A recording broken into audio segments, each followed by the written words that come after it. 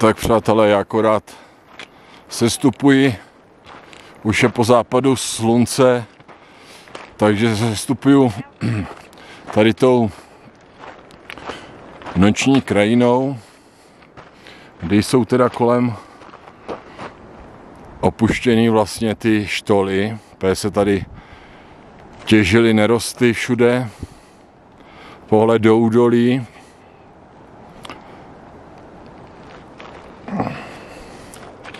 No a já pokračuju po tyhle ty cestce teda dolů a koupil jsem si novou čelovku o něco silnější, abych právě, když jdu takhle ty noční hajky, tak abych měl vlastně dobrý světlo.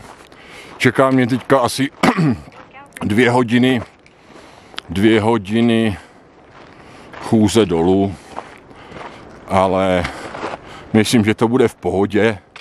Stezka je relativně dobrá, občas nějaký úsek je teda kamenej, se štěrkem, kde musí člověk dát pozor, třeba tenhle ten úsek je velice dobrý.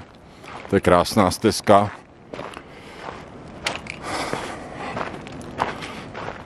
Tahle ta čelovka má dobíjecí baterii, to znamená, jsem zvědavý, kolik ta baterie vydrží. Tady dole vidíte celým tím dlouhatánským kanionem, který běží až vlastně k opuštěnému uh, mlínu na drcení kamene a získávání nerostů, tak tady tímhle dlouhotanským kanionem vodopád teďka už vidět není jenom vršek. No a tady všude jsou různý prostě zbytky uh, těch štol, různý lana natažený, kovový, zrezavělý. Má tady takovou zajímavou atmosféru. A já teda pokračuju dál. Tady jsou vidět krásně ty stromy. Takže takhle by to bylo asi prozatím ode mě vše.